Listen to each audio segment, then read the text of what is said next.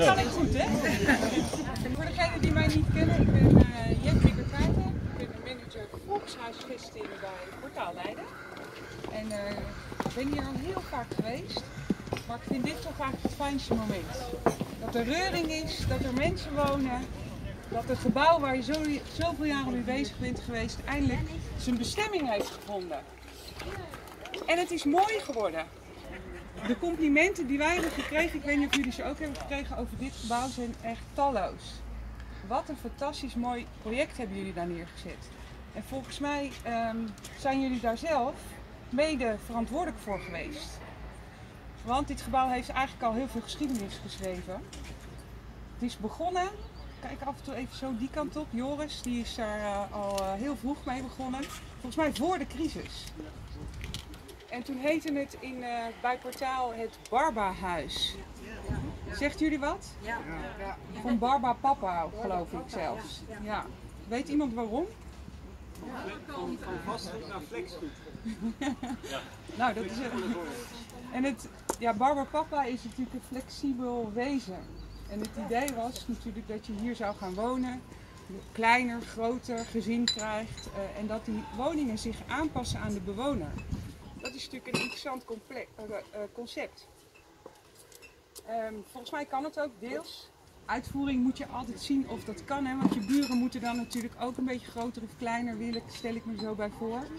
Maar het was wel een heel mooi concept om uh, mee van start te gaan. Het was wel voor de crisis, de zon scheen altijd, alles kon.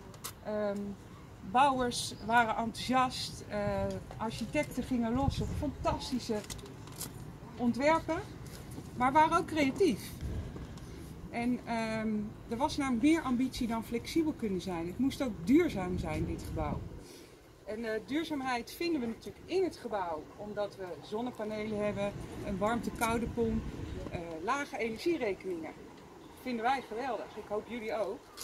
En um, in die ontwerpateliers is op een gegeven moment ook het geniale idee gekomen om een parkeergarage te maken, zodat dit parkeerterrein uiteindelijk een Lakenplein kan worden. Dat was oorspronkelijk helemaal niet de bedoeling. Je zou het nu ook haast niet zeggen dat dat de bedoeling is. Maar het is nog steeds de bedoeling. En het moet ook nog een heel duurzaam plein worden. Dat het allemaal wat uh, trager gaat, ja, dat is dan uh, het lot denk ik van uh, ambitieuze projecten. Maar dat wil niet zeggen dat er ambities zijn bijgesteld.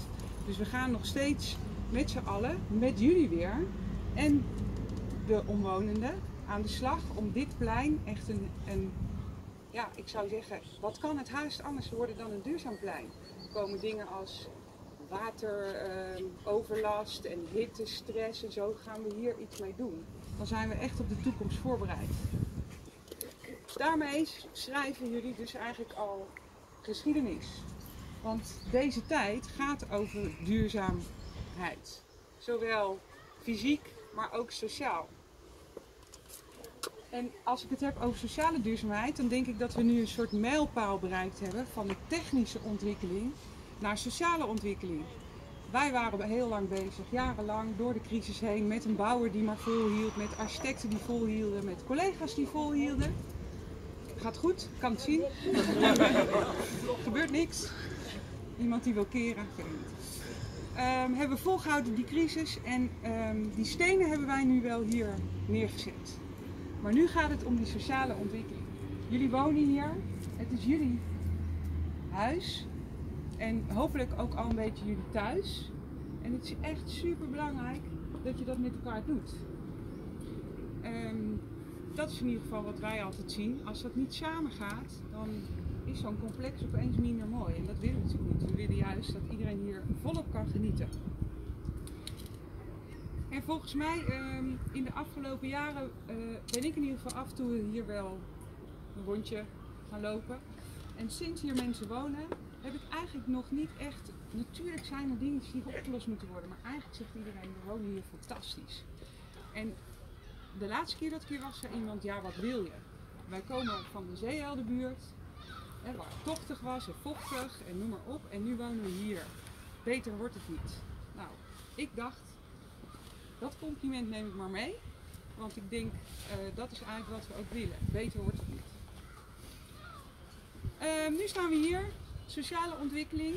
Een plein wat nog ingericht moet worden. Het houdt eigenlijk nooit op. Is eigenlijk mooi. Dus we gaan gewoon nog verder. Kansen benutten. eh, het terrein inrichten. En met elkaar eh, hier een thuis van maken. En ehm, dat doen jullie met elkaar. En dat doen we vandaag met dit feestje.